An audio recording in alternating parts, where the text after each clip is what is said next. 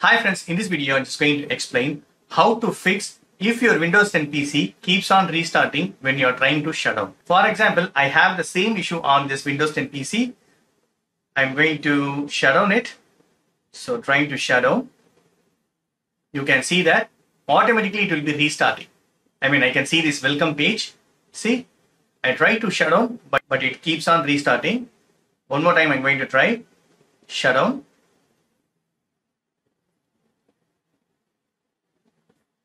See, again it's restarted.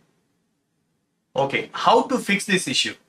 That's what I'm going to explain. For that, right, go to control panel, go to control panel. Under control panel, go to system and security. Here, right, come to system.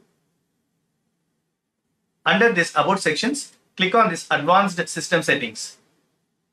So here, right, we need to come to this advanced tab.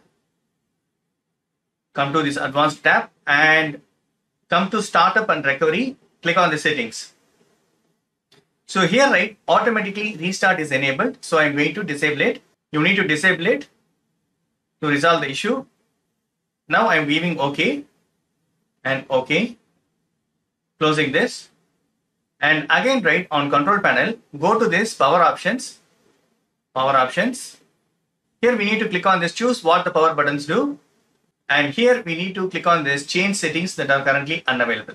So click on that. After you click the settings, you can see this option is enabled, shutdown settings. Here I turn on fast startup.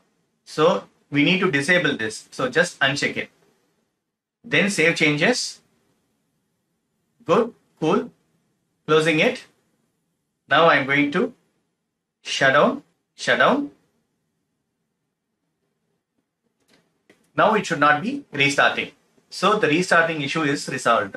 Again, I'm starting, pressing power button. One more time, I just want to do the shutdown for testing. So start button, power, shutdown. It should not be restarting.